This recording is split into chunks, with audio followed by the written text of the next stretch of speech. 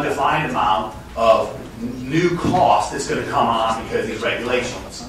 So if we believe that that number, which you've not been able to give us any help on, is going to be bigger than the number you're already asserting is owed in the form of a refund, then while that one part of the equation might be a number, on the other side it's going to be more than balanced out. So what I'm trying to figure out is how can you have an opinion on the effect of a bill, the economic effect of a bill, when one of the biggest parts of the equation, y'all, you've told us, I think at two hearings, this being the third now, y'all have any way to calculate that number.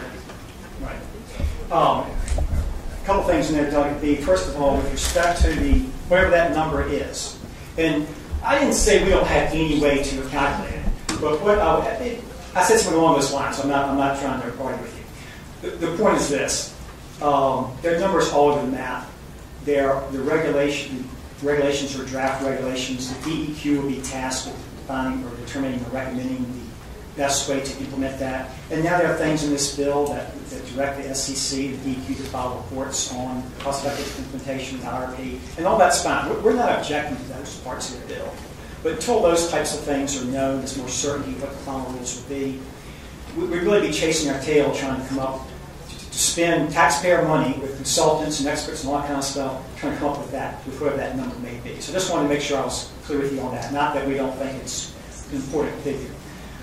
With respect to the impact of the compliance cost relative to the surplus revenues of utilities, I don't see anything in this bill where it says those compliance costs are going to be borne by the ratepayers during this period of time of the rate freeze.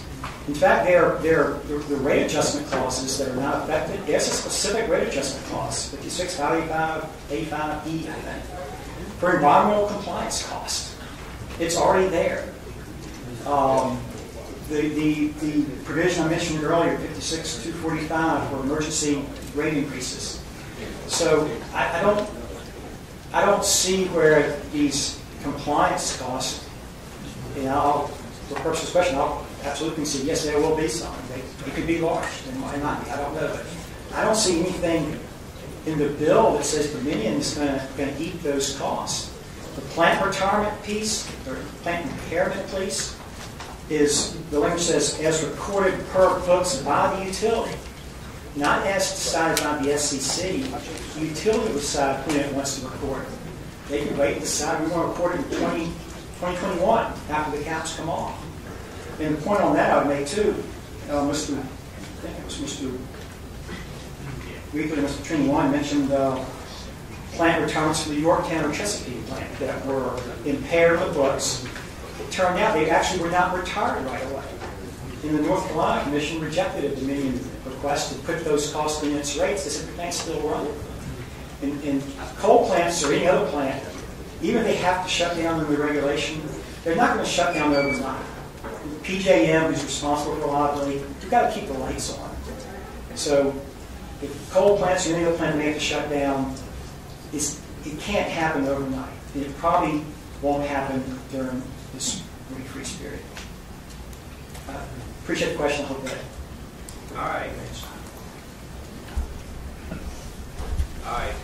Thank you.